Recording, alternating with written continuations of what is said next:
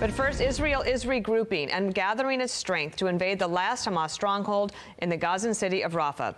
Now, Israel Prime Minister Benjamin Netanyahu says the date is set for his long promised offensive. And welcome to a brand new hour of America's Newsroom. I'm Dana Perino. Morning to you. Interesting, interesting morning so far, huh? I'm Bill Hemmer. Good morning. The Israeli leader forging ahead despite President Biden's pressure to hold off against invading Rafah to take out the Iranian-backed terror group.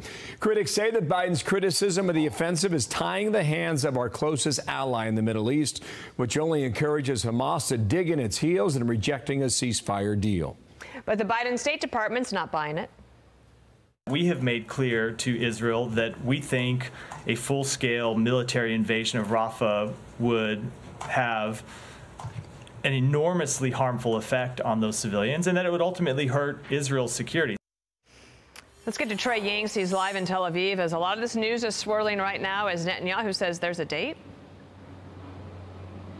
Yeah, Dana, good morning. Israeli Prime Minister Benjamin Netanyahu says his troops will enter Gaza's southernmost city of Rafah. You can hear off in the distance there a military helicopter back and forth along the Mediterranean Sea. Right now, there are currently 1.4 million Palestinians sheltering in this southern area of the Gaza Strip. It's not clear when they will be evacuated and how long that process might take. But this is a consequential decision if it does take place for a variety of reasons. Netanyahu says the move to destroy remaining Hamas battalions is needed to win the war. This victory requires entering Rafah and eliminating the terrorist battalions there. This will happen. There is a date.